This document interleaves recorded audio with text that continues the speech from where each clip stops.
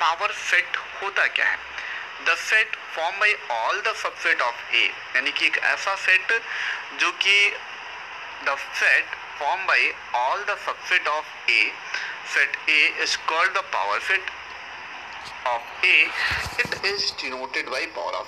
कहने का मतलब जितने भी सबसेट बन सकते हैं किसी सेट के, अगर उनको मिला करके एक नया सेट बना दिया जाए then this set is called power set ठीक है? मान लो ए है ए के कितने सबसेट बन सकते हैं? ए का बन सकता है फाइव बन सकता है वन बन सकता है टू बन सकता है और वन टू बन सकता है। कुल टोटल चार सबसेट बन सकते हैं।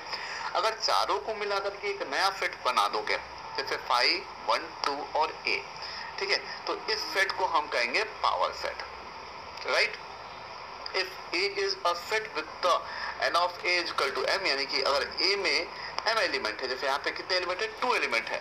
तो कितने पावर सेट बना था one two three four element का। तो इसी तरीके से एन ऑफ़ पावर सेट जो होगा वो two to the power of m हो जाएगा, यानी two to the power of two यानी two to the power of two यानी कि फोर तो देखो यहाँ पे फोर आया था, इसी तरीके से अगर एम है तो two to the power of m करोगे तो आपको पता चल जाएगा कि पावर सेट में कितने एलिमेंट आपके आएँगे बच्चों। तो ये भी बहुत एक आसान सा तरीका है। अब बात करते हैं यूनिवर्सल सेट के बारे में। A set that contain all the element under the consideration in the given problem is called universal set. And it is denoted by sigma और यू ठीक है? तो ये हमारा यूनिवर्सल सेट का कॉन्सेप्ट है बच्चों कि यूनिवर्सल सेट क्या होता है? देखो यूनिवर्स का मतलब क्या होता है? ऑल द कंटेंट मतलब सब कुछ मिला दिया जाए, ठीक है? तो जितने भी सेट होते हैं, जितने भी एलिमेंट होते हैं, उन सभी को मिलाकर के एक ऐसा सेट बनाए जिससे हम यूनिवर्सल सेट कह सकते हैं, क्योंकि इस सेट में हमारे सभी एलिमेंट उपस्थित हो सकते हैं राइट तो यूनिवर्सल सेट का मतलब समझ में आना कि एक ऐसा सेट जिसमें सभी एलिमेंट आ जाए, वो हमारा एक यूनिवर्सल सेट कहलाता है, यानी कि यूनिवर्स ठीक है? जैसे कि फॉर एग्ज़ाम्पल मैं आपको पढ़ना चाहूँगा कि अगर ए इक्वल टू लिखा है B C G M U set that may be x a letter in English alphabet, ये भी एक यूनिवर्सल सेट हो सकता है। बहुत सारे अलग अलग एलिमेंट को बना के है? चलिए कुछ क्वेश्चन करते हैं हम लोग। आपके पास ए दिया है वन टू थ्री बी दे रखा है टू फोर और सी दे रखा है वन टू थ्री फोर हमें find the value of x such that हमें एक्स की वैल्यू निकालना है कि अगर एक्स सबसेट है ए का एक्स क्या है बच्चों?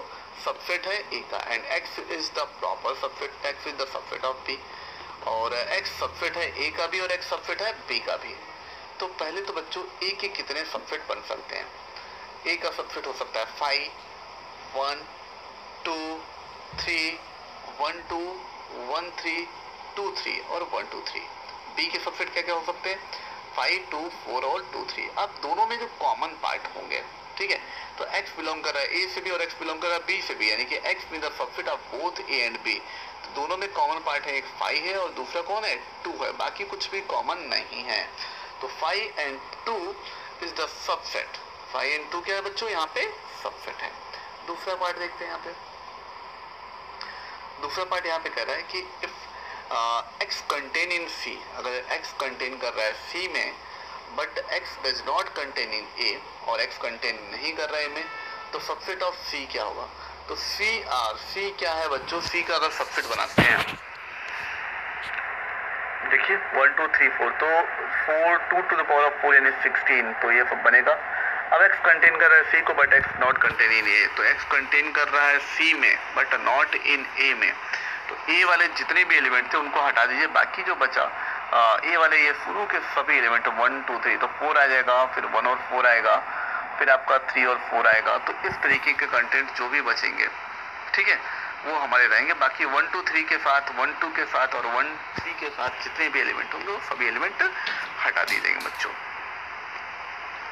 अगला पार्ट देखिए यहाँ पे कि for any subset of A and B is true that कि P power set of A union of power set of B is equal to of power set of A union B justify और answer ये हमें justify भी करना है। तो सबसे पहले बच्चों, आप देख सकते हो A is equal to one two है B is equal to two three है। ठीक है? तो power set of A is equal to of five one two और one two power set of B अगर बी का पावर सेट निकालेंगे तो क्या आएगा बच्चों? फाइव आएगा टू आएगा थ्री आएगा और टू थ्री आएगा राइट अब हम पावर फिट दोनों का निकालते हैं। तो power fit of A and power fit of B ये कितना होगा बच्चों? आपका फाइव होगा वन होगा टू होगा वन टू होगा थ्री होगा और टू थ्री होगा। यानी कि पूरा यूनिवर्स का पावर फिट ले लिया। यानी ए यूनियन बी में कितने एलिमेंट कंटेन करेंगे? वन टू और थ्री तो ए यूनियन बी यानी कि पावर यूनियन बी जो होगा, वो फाइव होगा वन होगा टू होगा थ्री होगा वन टू होगा वन थ्री होगा टू थ्री होगा और वन टू थ्री होगा। यानी कि इससे हम कह सकते हैं कि दोनों टर्म आपस में बराबर नहीं दिख रहे हैं। आप देख लो, ये टर्म और ये टर्म में आपस में बराबर दिख रहे हैं, नहीं दिख रहे तो यही तो प्रूफ करना कि शो करो कि आपस में इक्वल नहीं हो सकते चलिए, आखिरी क्वेश्चन देख लेते हैं। Two finite set have m and k element दो फाइनाइट सेट है जिसके पास एम और के एलिमेंट है। If the total number of subset of first is 56 और पहले वाले के टोटल नंबर ऑफ़ सबसेट कितने बन रहे हैं? 56 then the total number of subset is second then the find the value of m and k more than second question को ध्यान से पढ़िए। हमारे पास कौन कौन से सेट है? ए और बी है। Then cardinal number of A is m है और कार्डिनल नंबर ऑफ़ बी क्या है? के है। M is greater than n है। नाउ हम ये लिख सकते हैं कि n of P of power set of A यानी कि two to the power of m होगा, यानी कि n of P of B जो होगा two to the power of k होगा।